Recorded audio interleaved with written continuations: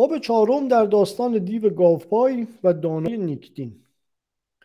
این یه باب نسبتا مفصلیه چهل و صفحه است. همون تو مقدمش مشخصه. یه دانایی ظهور می‌کنه که دنیا رو تنگ می‌کنه به اجنه شیاطین. و این حالا دیو گاوپای رئیسشونه. می‌خواد که استراتژی بشینه برای اینکه چجوری با این دانا طرف بشه.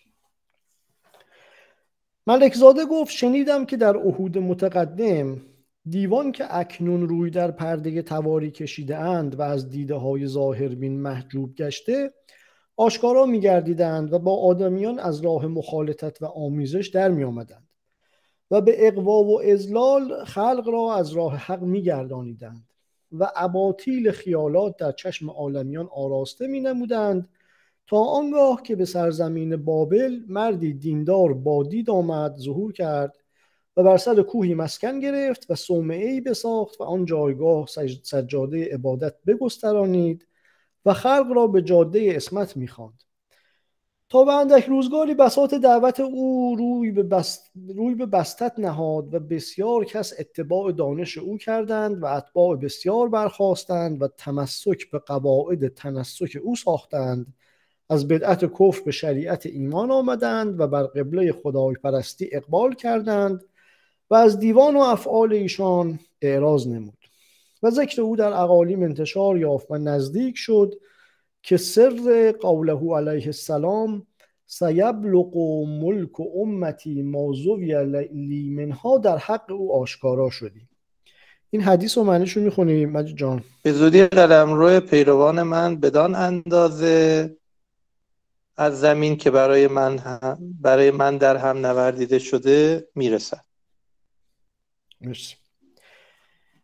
دیوان سراسیمه و آشفته از قبن حالت پیش مهتر خیش دیو گاوپای آمدند که از مرده افاریت و فجره تواقی و تواقیت ایشان بود. مرده از همون تمرد و اینا میاد مثلا جمع متمردان. از متمردان افریت ها بود. دیوی که به وقت افسون چون ابلیس از لاحول نگریختی و چون مغناطیس در آهن آویختی. این جن از بسم الله فرار کردن که معروفه میگه که از لاحول فرار نمی‌کردن. حالا ابلیس هم از بسم الله فرار نمی‌کنه. و بگو مجید جان. نگریختی یا بگریختی؟ نگریختی. نه. این یه جنی بود که از بسم الله هم نمیگریخت. اینقدر قوی بود. حمید جان؟ آقا ببخشید. شما سه بار لاحول را بسم الله گفتید. لاحول که بسم الله نیست. آره. لا حول ولا قوت الا بالله. ولی همونه چیزش. تاثیرش همونه. بله تاثیرش هم تاثیرش هم. خب. و چون مغناطیس در آهن آویختی این معروفه که جن از آهن میترسه یا مثلا به آهن نزدیک نمیشه. این جنگیرا و اینا قفس آهنی داشتن مثلا برای اینکه جن رو توش زندانی کنن.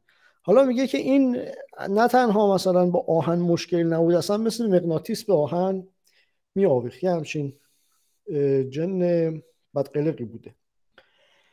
لشکرکش رنود شیاطین و پیشوای جنود ملائین بود. قافل سالار کاروان زلال سرنفر راهزنان وهم و خیال. نقب در خزانه اسمت آدم زدی مهر خاتم سلیمان شکستی تلسم سحره فرعون بستی. دیوان پیش او همه فریاد استقاست برآوردند که این مرد دینی بر این سنگ نشست و سنگ در آبدینه کار ما انداخت. و شکوه ما از دل خلایق برگرفت. اگر امروز صد این سلمت و کشف این کربت نکنیم فردا که او پنج نوبت ارکان شریعت بزند چتر دولت او سایه بر اطراف عالم افکند و آفتاب سلطنتش سر از ذروه این کوه برارد یعنی بعد از اینکه این چیزا شد ما را جز انقیاد و اتباع او چه چاره باشد؟ میگه بابا سر جوی بستن شاید به چی؟ یه چیزی بود. به بیل خلاصه سر جوی به بیل میشه بست. اگه نشد با فیلم نمیشه جمعش کرد اون شعره. یا همین دارم با بخت گرفتم که بسی بستیزم از سایه آفتاب چون بگریزم. دیو گاوپای چون این فصل بشنید در او تأثیری عجب کرد و آتش شیطنت او لحبات غضب برآورد. اما انان اجلت از دست نداد و گفت از شما زمان می‌خواهم که چون این کارها اگرچه توانی بر نتابد اگرچه سخت نیست بی تعنی هم نشاید گذارد. و اگرچه تأخیر احتمال نکند بی تقدم اندیشه ژرف در آن خوز نتوان پیوست.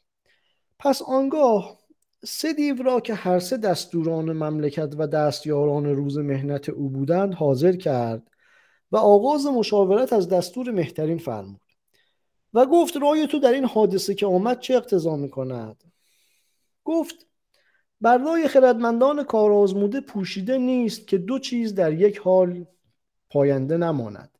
یکی دولت در طالع و دوم جان در تن. که هر دو را قایتی معلوم و عمدی متعین است.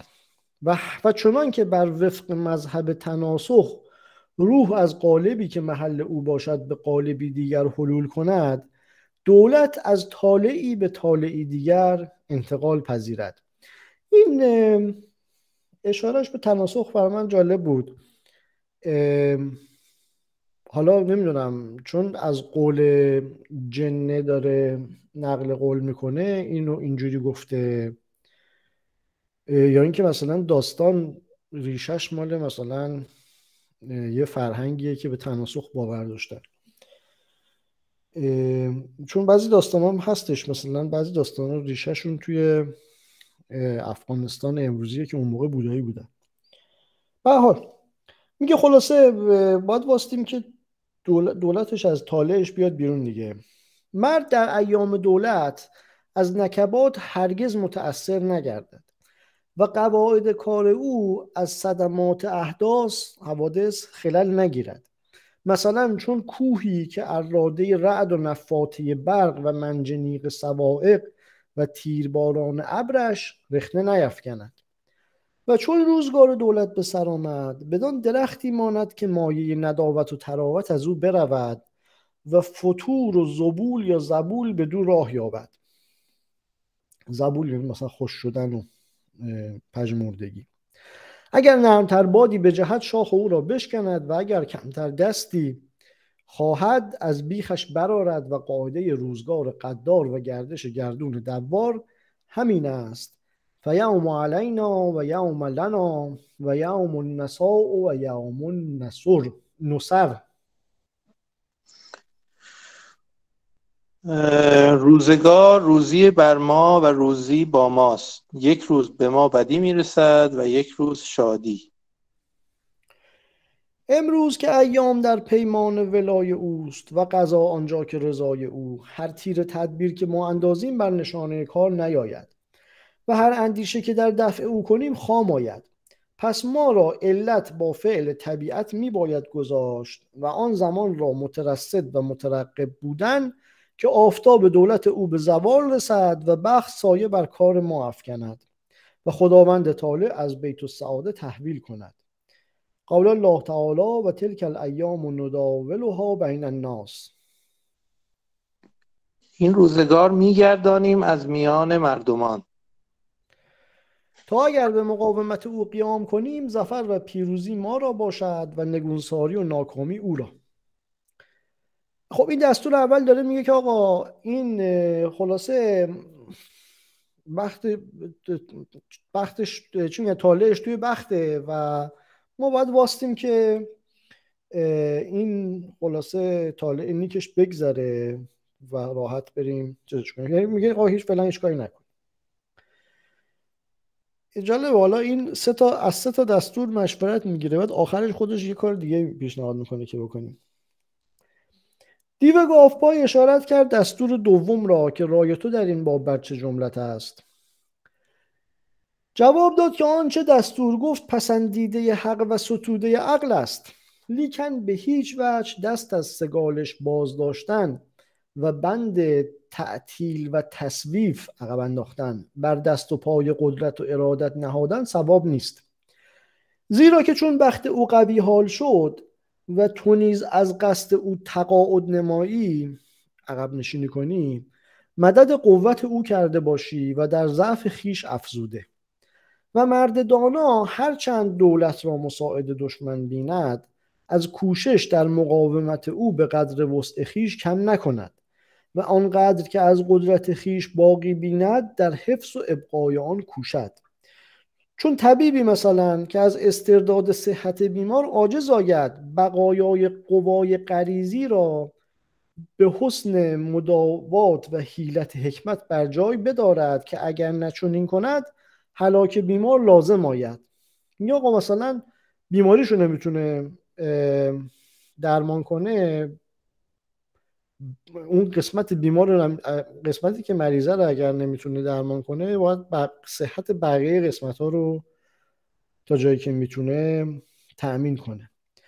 پس چندان که در امکان گنجد حدم مبانی کار او در پیش باید گرفت و اگرچه او مقاود تقلید بر سر قومی کشیده است و مقالید حکم ایشان در آستین گرفته یعنی مقاود مثلا افسار میشه دیگه. میگه افسار اینا رو گرفته و کلید حکم اینا هم تو آستینشه. و کل مجرن فی الخلعه یسر برخوانده. مجید میوتی. بله بله. معنیش معنی عربی رو بگم؟ بیت عربی. آره دوستی جان یا جان دوستی ترسن... ترسنده را به پرهیز از خطر وامی دارد و عزت خواهی و چیرگی جویی نه نه این تو اون مسئله قبل ببخشید من شد. هر اسب دواننده در تنهایی شاد و خرسند می شود مسئله مشهور که گفتن شخصی اسبی داشت و به تکاوری او مغرور گشته بود تا آنجا که اسب خود را به مسابقه فرستاد ولی این اسب در پویه از دیگران دیگر اسبان باز ماند و پیروزی نیافت و این مثل از آن روزگار بر زبان مردم روان شد. خلاصه میگه آقا این چیز دیگه. میگه الان تو میدون تک اسبه داره میتازه. ما باید بریم باش رقابت کنیم که ما را به میدان مجاهرت بیرون باید شدن و از مرگ نترسیدن. که جواب خصم به زبان تیغ توان دادن نه به سپر سلامت جویی که در روی همیت کشی. و حب ال... و حب الجبان النفس اورده تقا یا تقا و حب الشجاع و حب الشجاع العزه اورده الحربا دوستی جان یا جان دوستی؟ ترسنده را به پرهیز از خطر وامی دارد و عزتخواهی و چیرگی جویی دلیل را دلیل را به پی... پیگار میکشاند. مرسی. دیو گافبای خب اینم دومی بود دیگه. دومی گفتش که نه حالا بختش موافقی که موافقه. ما باید بریم باش بجنگیم که خلاصه تا جایی که می‌تونیم جلوش رو بگیریم دیو گافبای رو به دستور سوم آورد و پرسید که مقتضای رای تو در امضای اندیشه ایشان چیست؟ جواب داد که آنچه ایشان انداختند در خاطر تو جای گرفت که آفرینش همه آفریدگان چنان است که هر آنچه بشنود و به طبیعت او موافق و ملایم آید زود به قبول آن مسترسل گردد سست گردد. سیومن که سخنی نظمی نیکو و عبارتی محذب و لفظی مستعذب دارد سبک آن سخن در قالب آرزوی آن او نشیند. همه جان بگو سه با من نیست آقای گنجایی چه؟ سیگما یعنی مخصوصا. مرسی من نفهمیده بودم. سیما مخصوصا. چه جالب. من گفتم اول دومش چی بود که این سوم شد؟ حالا من اونجا که آخوندا میگن که سیما نمی‌دونم مریض حاضر یعنی مخصوصا. آها آها. همه رو خدا مثلا ببخشه سی ما این مریض مثلا ما رو اینجوری دقیقا دقیقا. مرسی مرسی. مرسی تازه من داد و گفتند چنان که به آهن فولاد آهن ها شکافند چنان که به آهن فولاد آهن ها شکافند به الفاظ عذب شیرین سلب صفات و سلخ عادات مردم کنند. همچون شعر دلاویز و نکته های لطفامیز که بسیار بخیلان را سخی و بددلان را دلیر و لعیمان را کریم و ملولان را زلول و صفیحان را نبیه گردانید. اما رای من آن است که اگر خود نیز میسر شود خون ریختن این مرد دینی صلاح نباشد. و وخامت آن زود به ما لاحق گردد. و این انداخت از حزم و پیش بینی دور است. این انداخت معنی شور و مشورت میده. یکی از معنیاش حالا اینجا به همون معنی شور و مشورت. چه اگر او را بی سبب واضح و الزامی فاضح و علتی ظاهر و حجتی باهر از میان بردارند متدینی دیگر را به جای او بنشانند. و این فتنه تا قیام الساعه قایم بماند و کار از مقام تدارک بیرون رود. چه عامه خلق زعفا را به تب دوست دارند و اقویا را دشمن. اما تدبیر صالح و اندیشه منجه آن است که تو به وسوسه شیطانی و هندسه سهردانی اساس دنیا دوستی در سر او افکنی. و او را به نقش زخارف در این سرای غرور مشغول و مشعوف کردانی و دیوار رنگین نگارخانه شهوات و لذات را در چشم او جلوه دهی و قطرات انگبین حرس از شاخسار درخت عمل چنان در کام او چکانی که اجده های مرگ را زیر پای خود گشاده کام نبیند و آیت و زین لهم الشیطان ما کانا یعملون بر ناسیه حال او نویسی ترجمه آیه رو بگن جان آنچه می‌کنند اهریمن بر آنان بیاراست و نیکو جلوه داد. بعد ناسیه حال او اینو بنویسی تا کافه خلق او را از کفافجویی و عفاف ورزی به دنیا طلبی مشغول بینند و چون تو به اظهار معایب و افشای مسالب او زبان بکشایی تو را تصدیق کنند و از او برگردند و بازار دعوت سست شود. دیو گاف پای را این فصل از قرض دور نمود و به ثواب نزدیک. پس گفت نیکورایی زدی و راست راهی نمودی. ازا نحن ادلجنا و انت امامنا کفال متایانا به که هادیا. چون ما در شب راه سپریم و تو پیشوای ما باشی دیدارت برای راهنمایی کاروان ما بس است. حالا ببینیم با سه تا دستورش مشورت کرد. یکیشون گفت که آقا اصلا هیچ کاری نکن. یکی این گفت باش برو به جنگ. یکی هم گفتش که وسوسش کن به دنیا دوستی و لحب و لعب. حالا این دیو میگه که اکنون رای آن است که من در مجمع عام بنشینم و با او در اسرار حقایق و علوم و اشیا سخن رانم تا او در سوال و جواب من فرو ماند و عورت جهل او بر خلق کشف کنم. پس آنگاه خون او بریزم. و اگر کشتن او و تمهید این مقدمات که تو میفرمایی موقوف دارم جز تزییع روزگار نتیجه ای ندهد. پس روی به مهتر دستوران آورد که در اعمال این اندیشه چه می‌بینیم؟ گفت چون کار بین طرفی نقیز افتد حکم در آن قضیه بر یک جانب کردن و از یک سو اندیشیدن اختیار عقل نیست. قال الله تعالی عسى ان تکرهوا شیئا و هو خیر لکم و عسى ان تحبوا شیئا و هو شر لکم. بسا خطاها که و به صورت ثواب در نظر آرد و بسیار دروغها که خیال در لباس راستی فرا نماید. چنان که پسر احول آن میزبان را افتاد. دیو پای گفت چون بود داستان این داستان پسر احول توی مصنوی هم اومده من نمی‌دونم ما خوندیمش یا نرسیدیم هنوز بهش.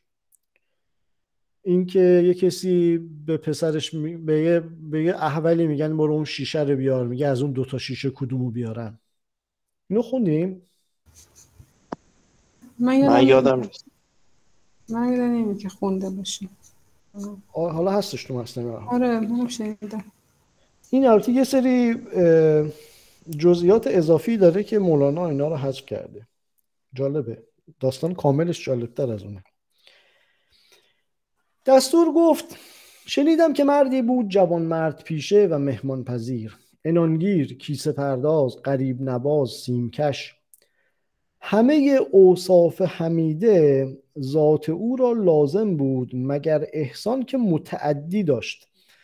این لازم و متعدی دستجور رو بازی کرده باش دیگه. یعنی احسانش به همه می‌رسید. تعدی داشت. و همه خصلت شریف در طبع او خاص بود الا انعام که عام ورزیدی. باز هم اینجا با خاص و عام بازی کرده خرج او از کیسه کسب خیش بودی نه از دخل مال مظلومان. چنان که اهل روزگار راست که دودی از مطبخشان آنگه براید که آتش در خرمن صد مسلمان زنند و نانی بر خانچه خیش آنگه نهند که آب در بنیاد خانه صد بیگناه بندند. مشتی نمک به دیگشان آنگه رسد که خرواری بر جراحت درویشان افشانند. دو چوب هیمه به آتشدان ایشان آنگه درآید که صد چوب صد چوب دستی در پهلوی ضعیفان مالند این میگه که خلاصه این اینجوری نبود دیگه. این آقا خوبه. کرام عالم رسم افاظت کرم خاص در زیافت از او آموختندی از این آدم مورد نظر ما. آن گره که خوندیم زینب. زینب میگه اینو توی چیز خوندیم. احول و توی اولای دفتر اوله توی آره، گنجور الان نگاه کردم؟ بخش نکردم ولی فکر می‌کنم فکر کنم خوندیم. آره. درست. می‌خواین مرسی. چند تا بیت مهمشو بخونم یا نه؟ لازم آره اون اون دو سه بیت اصلیش رو که طرف میره شیشه رو اصلی میشکنه بخونم. بخون. آره. میگه گفت گفت استاد احولی را کنده را زو برون آر از وثاق آن شیشه را. گفت احول زان دو شیشه من کدام پیش تو آرم؟ بکن شرح تمام. گفت استاد آن دو شیشه نیست. رو احولی بگذار و افزون بین مشو. گفت ای استا مرا طعنه مزن. گفت استاد آن دو یک را در شکن چون. یک چون یک بشکست هر دو شد. ز چشم مرد احول گرد مرد احول گردد از میلان و خشم. مرسی مرسی. خب این طرف داشت میگفتش که آن گره که سفلگان به وقت نزول مهمان در ابرو دارند او در نقش کاسه و نگار خانچه مطبخ داشتی. آن سرکه که بخیلان به هنگام ملاقات واردان در پیشان یارند او را در انای سکبای خان بودی. انا ظرف معنی میده. سکبا هم که آش سرکه است دیگه. اه، سرکه با اه، این اصطلاح سرکه در پیشانی آوردن و من پیدا نکردم چیزی براش. یه جور اخم کردن بوده لابد رو ترش کردن بوده احتمالا. به حال خیلی آدم مهمان دوستی بود. و یکاد و اندل جدبه یجعل نفسه حب القرا حتبا علی النیرانی. نزدیک آمد که در تنگسالی از مهمان دوستی جان خود را هیزم آتش زیافت سازد و بسوزد. وقتی دوستی عزیز به خانه او نزول کرد به انواع, به انواع اکرام و بزرگداشت و قدوم او پیش آمد و آنچه مقتضای حال بود از تعهد و دلجویی تقدیم رفت. چون از تناول تعام بپرداختند میزبان بر سبیل اعتذار از تعذر شراب حکایت کرد و گفت شک نیست که آینه زنگار خورده عیش را سیغلی چون شراب نیست و طبع مستوحش را میان حریفان وقت که بقای صحبت ایشان را همه جای به شیشه شراب شاید خواند. چی جمله شاید دستم در رفت.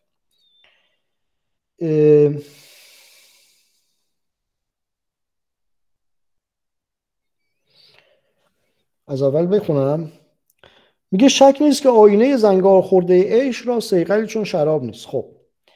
و طبع مستوحش را میان حریفان وقت که بقای صحبت ایشان را همه جای به شیشه شراب شاید خواند و وفای عهد ایشان را به سفینه مجلس از مکاره زمانه مونسی از او, به... از او بهنشینتر نه. مکاره هم که همون بدی ها از کراهت و اینا میاد. زشتی ها خب داره میگه که آقا شراب خیلی خوبه. ادرها وقیت الدائرات فانها رحن طال من دارت على الهم والحزن ولست احب السکت الا لانه یخدرنی کی لا احس از المحن. یکی از رویدادهای بد ایمن بمانی جام را به گردش آور. چه جام آسیایی است که پیوسته بر اندوه و غم گردد. و آن را فرسوده, فرسوده سازد. مستی را دوست ندارم جز برای آنکه بر من پرده بیخبری می‌کشد تا آزار رنج ها را در نیابم. خلاصه داره به مهمونش میگه آقا شراب خیلی خوبه خیلی لازمه. با این همه از آنچه در این شبها با دوستان صرف کرده ایم شیشه ای صرف باقی است. فقط یه شیشه مونده. اگر رغبتی هست تا ساعتی به مناولت آن تزجیه روزگار بکنیم. روزگار رو به نرمی بگذرانیم. مهمان گفت الجود و بالموجود قایت الجود.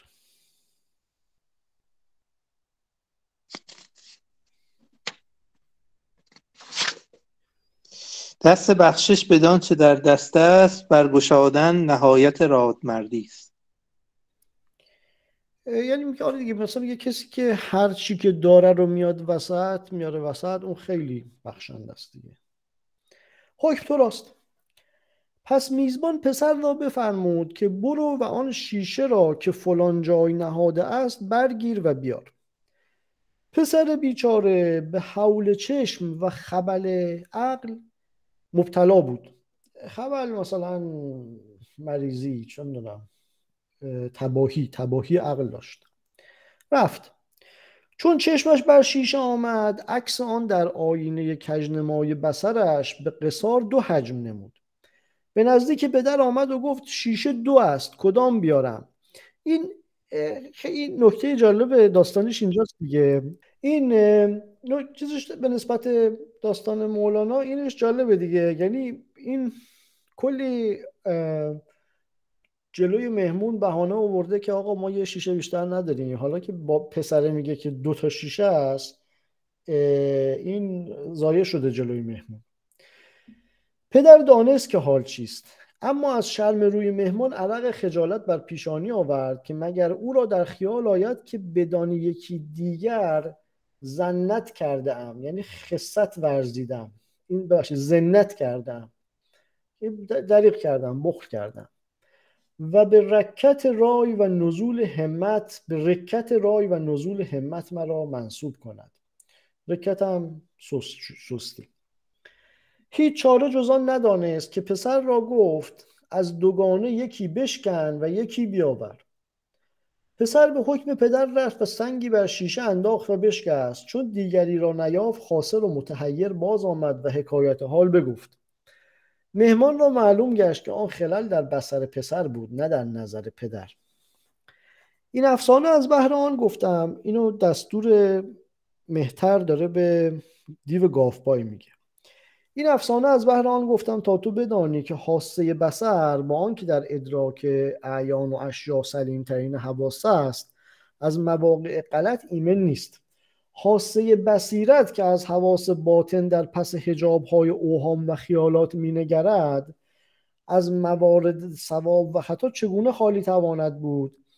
میگه خود چشم که مستقیم داره حس می‌کنه این می‌تونه اشتباه کنه. حالا بصیرت که اون پشت صحنه است و کلی این وسط انواع هجاب ها جلوش میاد اونم می‌تونه خطا داشته باشه دیگه. میباید که به صرف اندیشه ژرف در این کار نگه کنی و بی تعمل و تثبت قدم در راه این عظیمت ننهی که آفریدگار جل و علا با آنکه از جمله جواهر حیوانات جوهر آدمی را متحرتر آفریده آفریده است و بهره دانایی و تیزبینی و هوشمندی ایشان را بیشتر داده بر هر یک ستاره ای از ستارگان الوا و, الوا و سفلا نگهبان احوال کرده تا همچنان که دایگان طفل را پرورند او را در هزانه تربیت می پرورد و می دارد هزانه جایی که بچه رو نگه می دارد و هر یک را فرشته ای از عالم قدس ملکوت آموزگار کرده و لوح تعلیم و تفهیم در پیش نهاده. چنان که در صفت بهترین موجودات می آید علمه شدید القوا ذو مرة فاستوى آموخت او را یعنی محمد را سخت نیرومند صاحب قوت یعنی جبرئیل پس راست و برابر شد. ولیکن چون از پی هوا قدمی فرانهند اسیر ما دیوان شوند و مسخر و مقهور ما گردند پس ما که سرشت گوهر از دود تیره ظلم و جهل مرکب داریم اگر زمام دل به دست هوا دهیم و دست از تفکر و تعنی باز داریم حال چه باشد؟ و با آدمی که این همه عدت و آلت دارد و به چندین خصال متصف است چگونه براییم؟ اخو الظلماء اعشا باللیل. ببخشید اخو الظلماء اعشا باللیل. کسی که در روز چشمش نیک نمی‌بیند ناچار در شب کور است. توضیح بیشتری نداره راجع به ضرب مثل درباره کسی که تدبیرش به خطا رود و گرفتار ماند. من میترسم که از این مهتری و برتری جستن شما را بتری افتد چنان که آن مرد میهمان را افتاد با خانه خدای. دیو گافای گفت چون بود آن داستان؟ دستور گفت شنیدم که برزگری بود. شبی از شبهای زمستان که مزاج هوا افسرده بود و مفاصل زمین در هم افشرده مدد سیلان از مدامع سبلان منقطع شده و این اگر اشتباه نکنم سبل. آره و سبل از اطراف عیون بر طبقات زجاجی افتاده و مسام جلد زمین به مسامیر جلیدی در هم دوخته. آب جامد چون دست ممسکان از افاظت خیر بسته هوای بارد از دم سفلگان فقاع گشوده. این سردی هوا رو داره توصیف می‌کنه. بگو مجید. اون سیله تو نسخه من. آها سیل از اطراف ایون بر طبقات زجاجی افتاد. سبل نیست؟ اینجا سیل حالا این من فکر کنم مصحح دلیل داشته برای سبل خوندم میگم. ببین یخ زدن آبو داره چیز می‌کنه. داره توصیف می‌کنه. اون مدامه یعنی چشمزارها. یا چیزم میشه برای چشمم میشه خروجی اشک. این خلاصه راه آب از این چشمه ها یا از این سوراخ های اشک سبلان قطع شده باشه. این اگر سیل نباشه و اینجوری که مصحح ما خونده سبل باشه یه بیماری چشمیه. این حالت آبی که دور چشمه طبقه طبقه یخ می‌زنه رو به اون چیز به اون بیماری چشمی چیز کرده که اطراف چشم قی می‌کنه و چرک می‌کنه و اینا. مسامیرم مسامیر یعنی میخ مسمار داریم میخ دیگه این جمع چیزه. جمع مسماره. میگه که اون مسام مسام منفذ عرقه. منفذهای عرق پوست زمین با میخهای مثلا زورمندی در هم دوخته شده بود. همه چی با یخ خلاصه همه سوراخ های زمین و چشمه ها بند اومده بود. همه جان بگو. من می‌خواستم بگم سوبول جمع سبیله خب. بعد دیدم که نه انگار همین سبل مرضی است از امراض چشم. آره چون طبقات زجاجی رو میاره. آره همین همون مریضیه. بله ممنون. خب خلاص آقا یه برزگری بود توی همچین شب سیاه زمستونی. و ترت تویور الماء فی وکانتها تختار و حر ناره و سفودا و ازا رمیت به فضله که از و ازا رمیت به فضله کاس که فی الهوا عادت الیک من العقیق عقودا. پرندگان پرندگان آبی را در آشیانه چنان بینی که از سرما سوزش آتش را برمیگزینند و چون ته جرعه جام را بر هوا افشانی رشتههایی از عقیق به تو باز میگردد. در چنین حالتی دوستی به خانه او نزول کرد و او آنچه رسم گرامی داشته از یافت است به جای آورد. ماحضری که بود پیش نهادند و به کار بردند و آتشی خوش برافروختند و از لطف محاورات و مفاکهات فاکهه روحانی با ریحان زمستانی بر هم آمیختند و سیرفی تب در رقبت قلب و شتا هر ساعت می بی صرفه در تنوره کنان زرد صرف را کو شعله ها به صرفه و عوا برافکند. تاووس بین که زاغ خورد وانگه از گلو گاورس ریزه های منقا برافکند. گاورس مثل مثلا دونه ارزن. مگر به حکم مباستت و مخالطتی که در سابق حال رفته بود همین جان بگو می‌دونید شعر از کیه؟ نه. خاقانی. مال خاقانی خوبه. مگر به حکم مباستت و مخالطتی که در سابق حال رفته بود میگه مهمونه خیلی باش صمیمی بود. از سر صمیمیت مهمان و برزگر و کدبانو هر سه پایها در تنور کردند. کدبانو را در محاضات عورت شکافی از شلوار پدید آمد. مهمان در او دزدیده نگاه می‌کرد. شوهر نیز وقوف یافت. اندیشید که اگر بگذارم که مهمان ببیند پرده سیانت دریده شود. موقوف نیستش. اندیشه که اگر بگذارم که مهمان ببیند پرده سیانت دریده شود. چوبکی برداشت و آهسته و نرمک می برد تا بر اندام او نهد. مگر انتباهی یابد؟ مهمان در اسنای حکایات هر وقت بدین عبارت تلفیقی می کرد که بتر نکنی.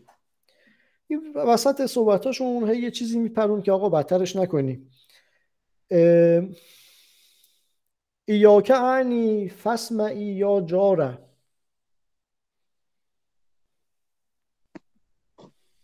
تو را قصد می‌کنم پس, نو... پس بشنوی همسایه زن.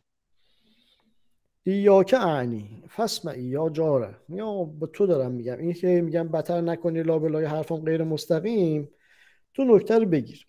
آره همون به در میگیم دیوار بشنوه. دیوار بشنوه. آره. شوهر از نکته سخن قافل. سر چوب ناگاه بر آن موزه آمد. زن در لرزید و بادی از مخرج رها کرد. خجالت حاصل آمد و ندامت بر آن حرکت سود نداشت.